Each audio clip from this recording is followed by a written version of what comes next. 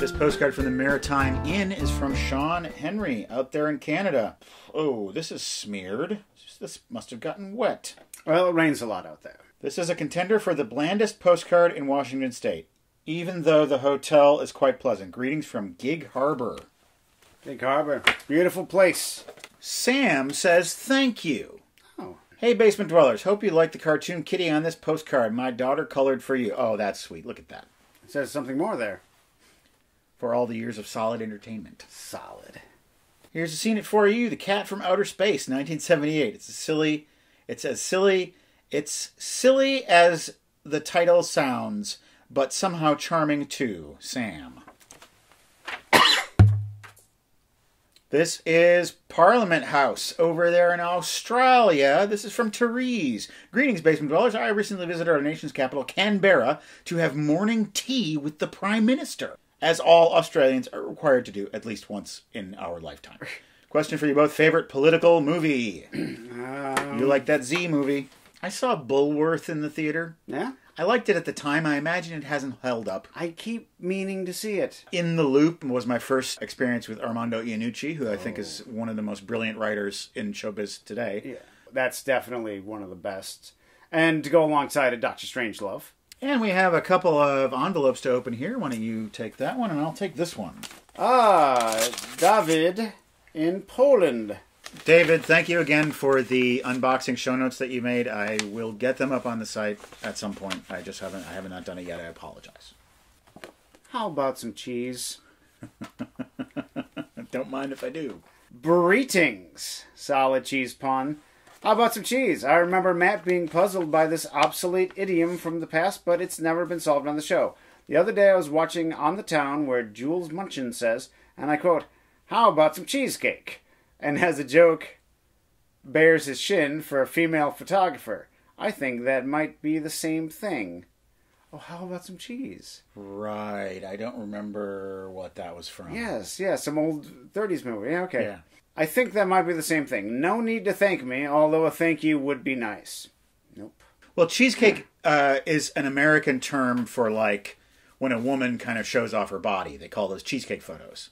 So when that guy says, "How about some cheesecake?" and he shows off his shin, it's Yeah. not sexy as a woman in a bikini.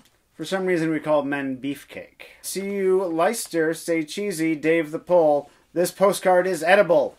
Not. He gave us a knot.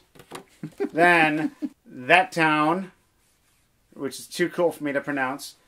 Ahoy there and on the old leather couch. Here's another architectural wonder from my hometown, which you can't pronounce. It's a footbridge that looks like a donut. Unfortunately, it tastes nothing like it. I'll show myself out. David Mamsher of Poland. P.S. Mid and post credit scenes, part of a movie or not? They're part of the movie. I mean, I think the credits are part of a movie. They Yeah. choose the music for a reason, and they choose how the credits look and the way they're presented to match the tone of the movie. So I would say all that's part of the movie. I don't know if Ferris Bueller invented it, but it wouldn't be Ferris Bueller without him coming out and saying, Are you still here?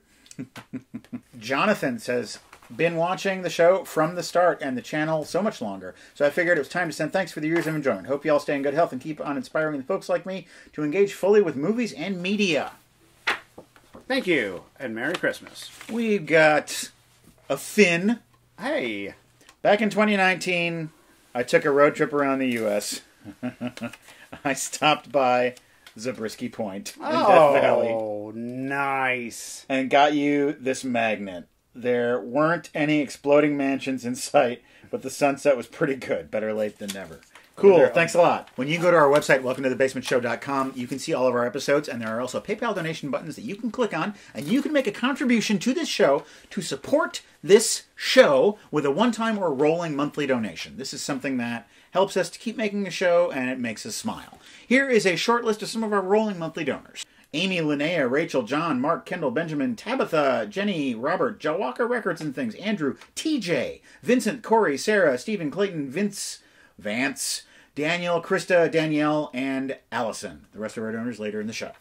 Now is time for viewer questions. Topher Ray, do you guys feel that a good movie that you're enjoying can be too long? Yes, I do. It's when a talented director is self indulgent. That's when that can happen. An excellent example of a good movie that is too long is the Apocalypse Now Redux. Yep. Mhm. It didn't have to be too long. Actually, at one point, it wasn't. Exactly. Yes. Well, the most famous example of this is Return of the King.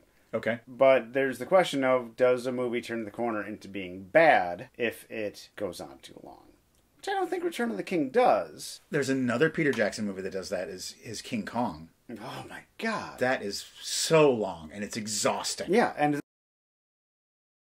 But there's a great movie buried in there. Mm-hmm. He just needs to take out a bunch of stuff. oh geez, the question I was going to ask is from David, who sent us those nice postcards. That's okay.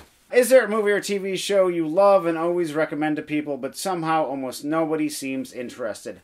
Yes, a Canadian show called Slings and Arrows.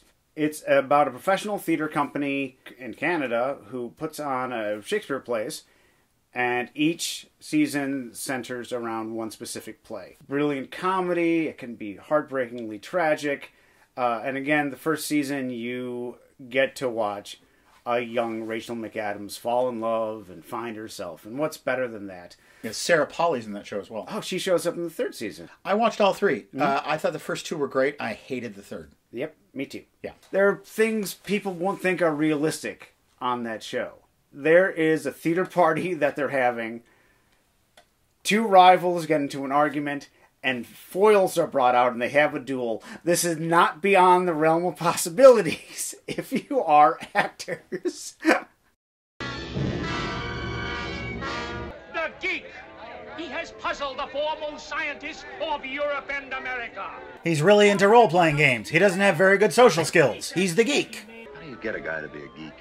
Bring out the geek. Geek's sleeping. Well, I guess you better wake him up. When you've been around this carny a little longer, you'll learn to quit asking questions. Carnies hate interrogative statements.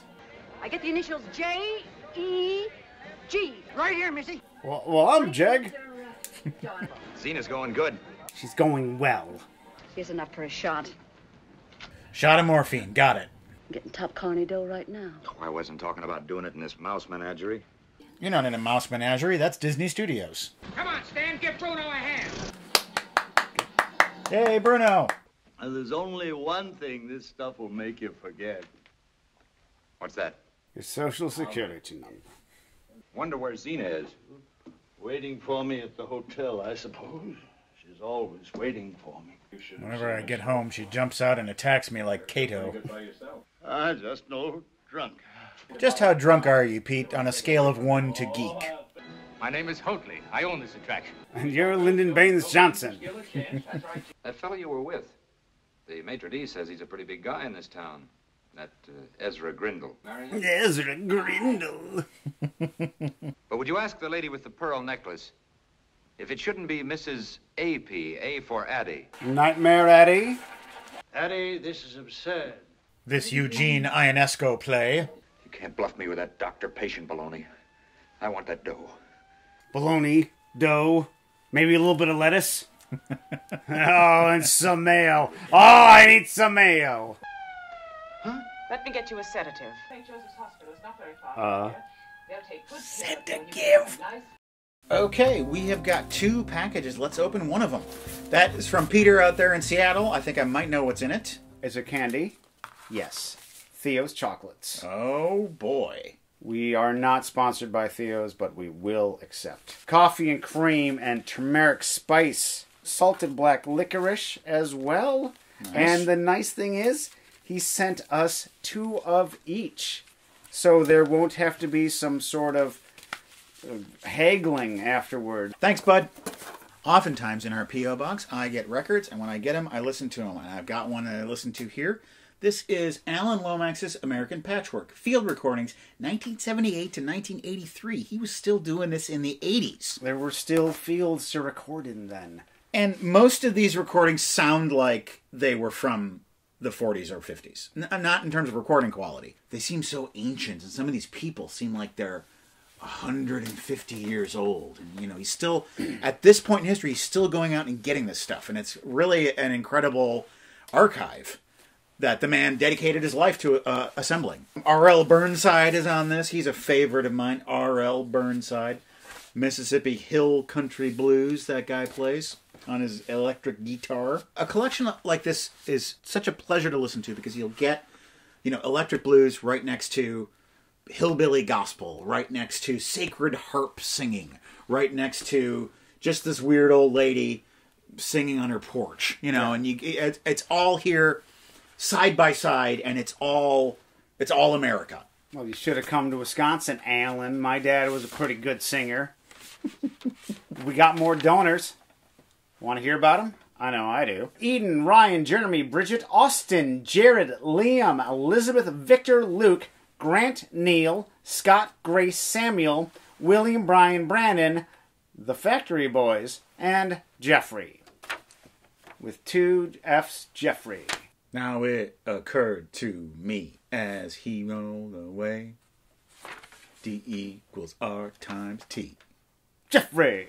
Two F, Jeffrey. I need some chocolate right now. I gotta be careful. You gotta be careful eating coffee flavored chocolate at night. Mmm. That definitely has coffee in it.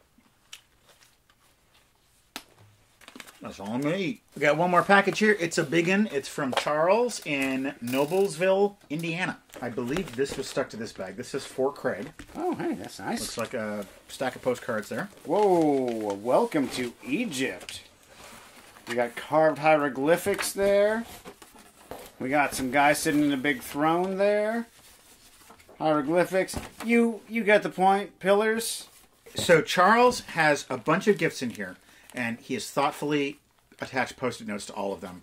And in the course of shipping, they have all fallen off. so I will do my best. First of all, there's an envelope. It says a small start. Monthly donations to come. Oh, this is a letter. Oh, this ain't a small start. Good lord. That's a big start. Long time watcher, first time writer. This has been a hard month. I reached out to friends. I lost contact with only to find someone passed. Oh no, that's too bad. So to the viewers, don't wait, just make amends or reconnect. Yeah, that's good advice. No won worth a damn has ever looked back on their life and wished they had said, I love you less. Sorry to start on a bummer. That's okay.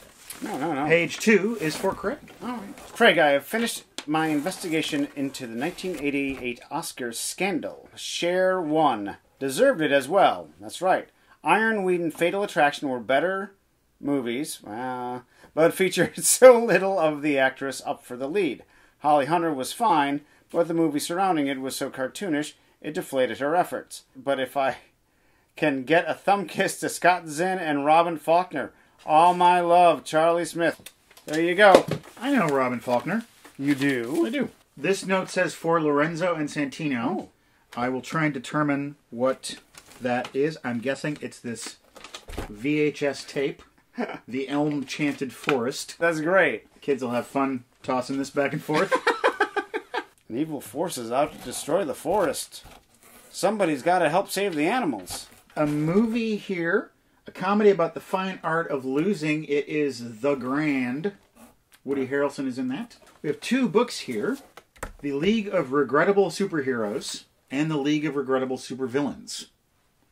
These are funny books, it seems. What are some examples here? Oh, no, these are actual heroes and villains from actual comic books. Moon Girl. Seaweed Queen. Oh, this is fun. Doll Man.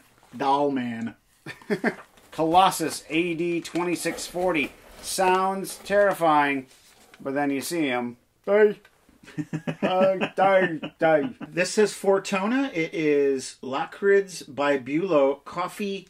This is some kind of coffee candy. And then lastly, there is a box in here. Charles says, Format, whatever you do, don't listen to this, then drive. You will get a speeding ticket. It looks like this is a soundtrack to Cowboy Bebop, the anime, famous anime. Oh, Look at that. Cool. Cowboy Bebop. It's always a, a title that has made no sense to me. It's in the future. Yeah. This doesn't look like cowboys or bebops. that is a fun box of stuff, Charles. Thank you. Now what? Now we pack up and you go home. And I stay here because this is my house. That's how it works.